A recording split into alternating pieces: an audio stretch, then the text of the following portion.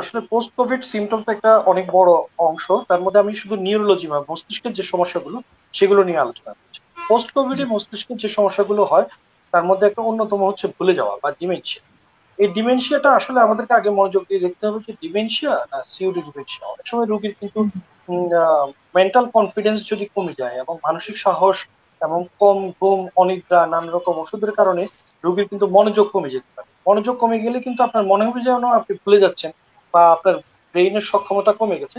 কিন্তু সত্যিকার অর্থে এটা কিন্তু ডিমেনশিয়া না। মনে থাকার একটা বড় পার্ট কিন্তু মনোযোগ বা কনসেন্ট্রেশন অনেক সময় করোনা রোগীরা করোনাকালীন সময়ে নানা রকম ভয় পায়, দুশ্চিন্তা থাকে।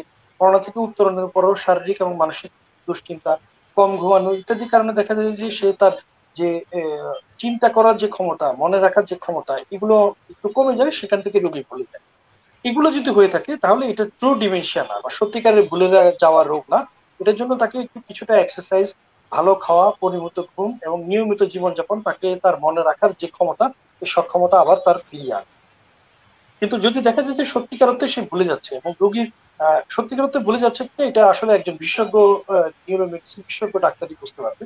তবে সাধারণ মানুষ একটা ক্লু দিলে বুঝতে পারবে। যদি দেখা যায় যে রুগীর চেয়ে রুগীর সাথে লোকজন কমপ্লেন করছে বেশি, যে উনি তো সবই ভুলে যাচ্ছে। তাহলে বুঝতে হবে যে এটা আসলে একটা সিরিয়াস ইস্যু রুগী আসলেই সবকিছু ভুলে যাচ্ছে।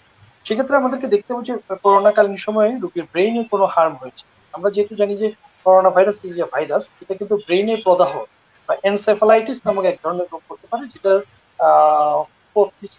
পরবর্তীকালে রোগীর কিন্তু ভুলে যেতে পারে। যদি সত্যিকারের ভুলে যাওয়া রোগ হয় বা ডিমেনশিয়া রোগ হয়, সেক্ষেত্রে রোগীকে অল্প সময়ের জন্য বা দীর্ঘ সময়ের জন্য কিছু ওষুধ আছে।